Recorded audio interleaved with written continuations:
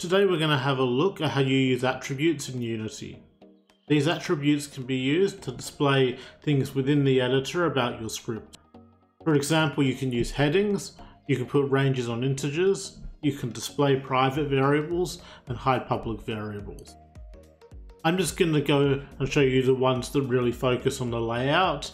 There are actually a whole load more of them if you do some investigation, but this should be a pretty good list of the ones that work with the layout.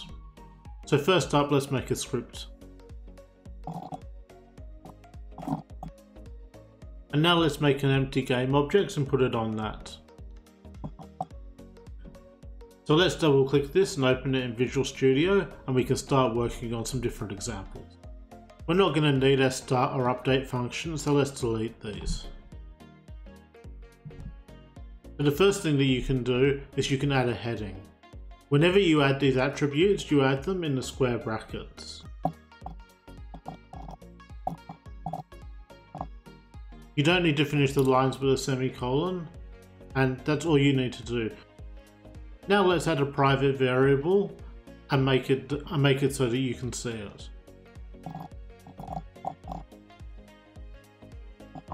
To do this, you use serialize field. Now let's save this and have a look in Unity. You can now see that you have your heading and you can see your private integer. Next up, let's make a public integer that's hidden.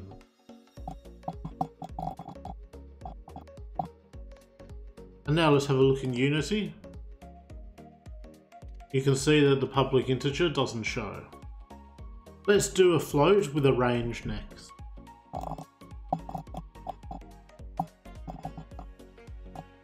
I'm also going to add a tooltip for this. Now, you can make these two separate square brackets, but you can also join these attributes with a comma. And now we just need to make a variable for this. Let's save this and have a look what it looks like in Unity. So you can now see that we have a float with a range.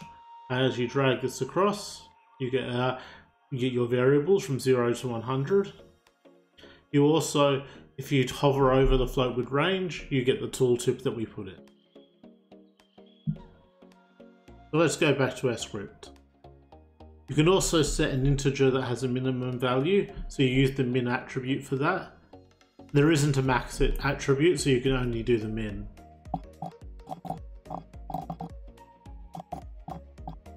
Let's test this and see how it goes.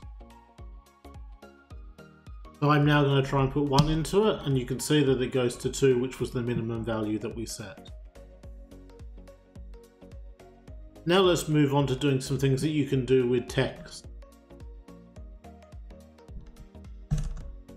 I'm going to leave a little bit of a space between that because we're now moving on from integers to strings, and you can use the space attribute to do this.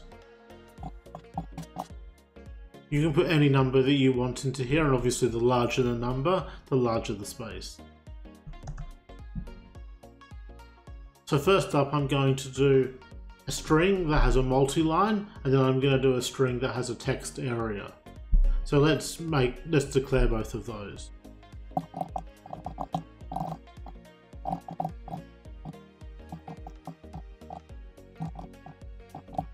Let's save this and have a look what it turns out like. So you can see I have a multi-line here. It will always display three lines. Here we have a text area. And what will happen here is you'll see that you'll get the scroll bar on the side when you get too big. And you can also see that we've left quite a large space here using our space attribute. So there's a few more things we can do, so let's go back to our script.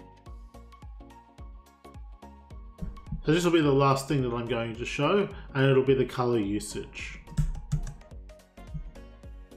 You can use this to turn off the alpha channel and you can also use it to turn on the HDR channel. So you get two variables here. The first one is if you want to show the alpha channel and the second one is if you want to show the HDR channel. By default, the alpha channel is on, so let's set these both to false to see what happens.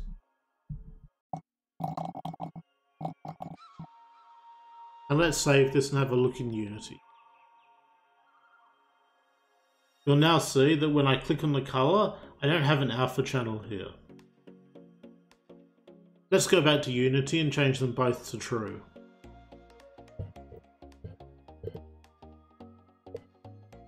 You can now see that we have our alpha channel back and we have HDR.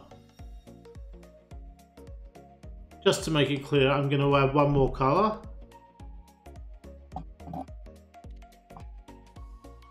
And you can see the default is that you get an alpha channel, but you don't get HDR. So here's all the different attributes that just work out of the box. You can extend them with the editor, but I just wanted to make this list because they're not that easy to find in the documentation. I hope you found this useful, and if you did, please feel free to like, subscribe or comment. It really helps me as I'm trying to grow the channel. I hope you enjoy your game development.